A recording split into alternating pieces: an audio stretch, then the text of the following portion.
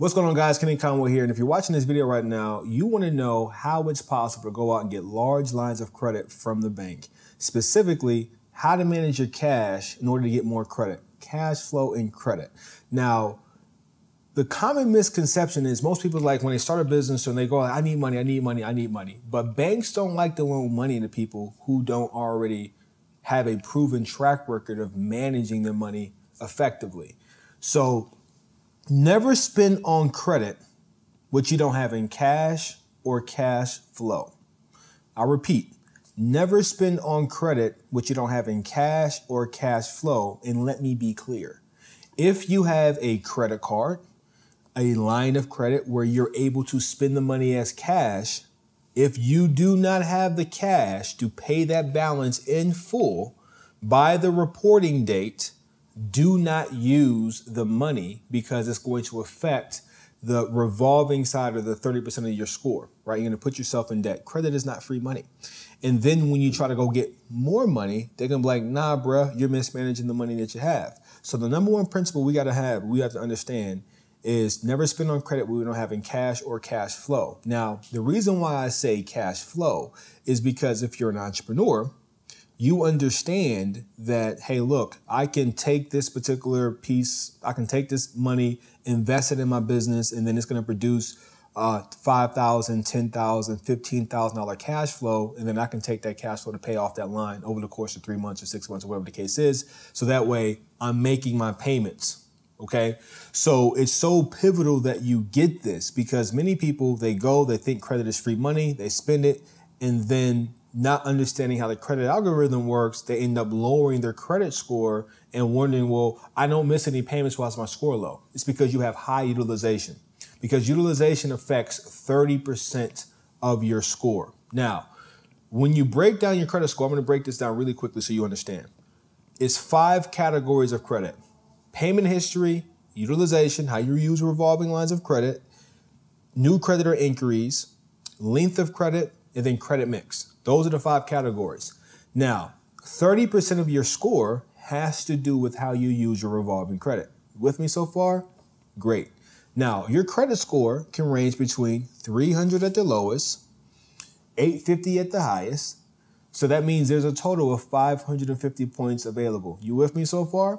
Cool. I'm glad you are. Now, if there's 550 points, to keep this extremely simple, 30% of 550 is 165. I did the math for you. With me so far. All right. So if 30% has to do with utilization, and if I have a, let's keep things extremely simple, $10,000 credit card, and that credit card or revolving credit has to do with 30% of my score, if I use all 10,000 of that card and it reports to the credit bureaus that I'm using all 10,000 of that card, how many points am I taking advantage of in that category?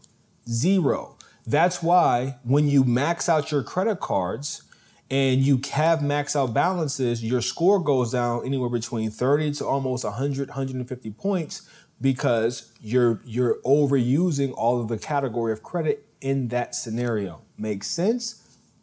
Great. I'm glad it does. I know I said a lot, but you got to get that. And that's why I say never spend on credit what you don't have in cash. So if I'm going to spend the 10 racks, I got the 10 racks. So I already know I have that money set aside. So when you start thinking about it, it's really important to identify all of your variable expenses, your fixed expenses, so that way you know, okay, well, on average, my variable expenses is this, my fixed expenses is this.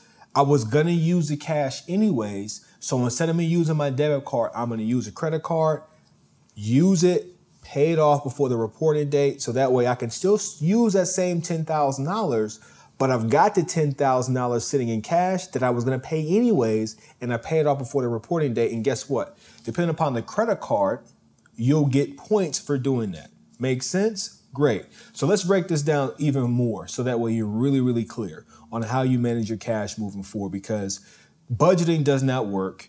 Cash flow management is what works. And then if you want to get lines of credit from the bank, you have to be good with your cash flow. Now, at this point, um, I have I want to say about six hundred or seven hundred thousand dollars in revolving lines of credit, probably more. But I use my credit cards all the time, right? So here's a quick screenshot of several of the like 600 rewards points I have with one of my credit cards, and here's another screenshot of 120,000 rewards points, and here's another one of 99,000 rewards points. I think you get the picture. So when you start managing your cash flow, you want to take what I call the three bucket approach. You want to have a fixed bucket, which is for your past commitments. You want to have a variable bucket, which is for your present choices. And you want to have a future bucket because your future self is going to want to go on that trip to Dubai. It's going to want to buy a new car, want to buy a new home, buy Christmas gifts, whatever retire one day, have an emergency fund. So when you're managing your cash, you've got to be thinking about the past, present, and the future. So an example of a past expense is rent or mortgage, minimum monthly payments on cards, uh, utility bills. You've already agreed to pay those past commitments. Many people get messed up because their present choices aren't clear and they end up like Jeezy made a song. I won't say the name of the song, but um, you, I will use one of the clips that he used in the song. Basically, you're supposed to pay the mortgage when you bought a chain. Come on, bro, what you doing, bro? That's a bad decision. Now you messing up your mortgage payment. You messing up your credit. So we got to be really, really clear about what the number is for our fixed bucket expenses. And then when we get paid, we just know that, hey, look, my fixed bucket expenses are three racks or two racks a month. I ain't touching that money because I know that's for fixed. Now, where the wheels fall off is present choices, because you be in your feelings. You a human being, you be tight, you had a tough week, you mad at your girlfriend, you mad at your boyfriend about whatever it is, your boss pissed you off, your employee pissed you off, whatever the case is. I'm buying me some shoes, I'm going out, I'm turning up, and I'm gonna blow my money in the present because I'm emotionally hijacked with my spending. Nah, you gotta identify up front and discipline yourself that even though you had a tough week. Now, I'm not saying don't get a good drink, and I'm not saying not to buy your shoes, but you have to do it within reason because if you have no clarity around your variable choices, going out to eat, buying shoes, being an emotional spender, you're gonna blow your money in or overspend your money, and now you won't have any money for the future. And your future self gonna be like, hey, bro, why you ain't put that money aside? Right? Why you ain't do that? Now, now we got a flat tire. Now we got an auto deductible. Now we got a water heater that's broken up and my credit card is maxed out because I thought it was free money and I can't get this thing fixed. Now you're riding around with a, a, a dented up car or you don't have cold, you don't have hot water because you didn't put money aside for the future or you tight because you want to go on some trip or you want to be on the gram doing all this stuff, but you can't because you ain't got no bread because you didn't put no money aside for the future.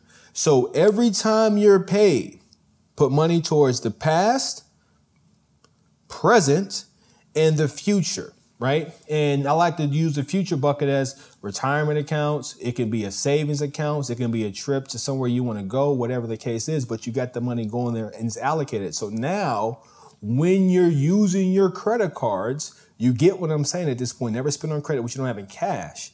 You can say, hey, look, I've identified that I've got $3,000 in fixed bucket expenses and I've got $2,000 in variable bucket expenses. I'm to use credit card one for my variable bucket expenses because I was going to spend that $2,000 anyways. And I'm going to use credit card two for the 3000 because I was to use that anyways. And then I'm to use the cards. Then I'm to pay it off with the cash that I already have from my paycheck wherever I pay myself. And then I'm to get the rewards points, pay it off. And then also I'm to take the extra $1,000 or $1,500, whatever your, your salary is and put that towards my future buckets. Maybe that future bucket is uh, a retirement account. Maybe that future bucket is starting a business. Maybe that future bucket is just wanting to make sure you got money set aside. Maybe that future bucket is wanting to get started in the stock market. Who knows? But you're putting that money aside so when, not if, when life happens, you can pull from the future bucket in that savings account, take care of life, keep it moving, don't throw up your cash flow right? So I'll end with this. Your credit score is a reflection of your financial behavior. Your bank account balance is a reflection of your financial behavior. Now, I'm not judging. It's either a negative account, which I used to have, a one, two, three, four, six, seven digit number that reflects your financial behavior. So if you want your account balance to go up, you got to behave yourself in that manner. Apply these principles, never spend on credit what you don't have in cash, and you will have the money that you want and achieve your financial goals. I'll see you in the next video. So right below this video, if you're looking to figure out the process of not only improving your cash flow, but the strategy that you need to be able to start taking your credit to the next level and the, learn a simple strategy that's overlooked by 95% of people fixing their credit. Click the link below, register for my training. I'm gonna cover it all there in that video.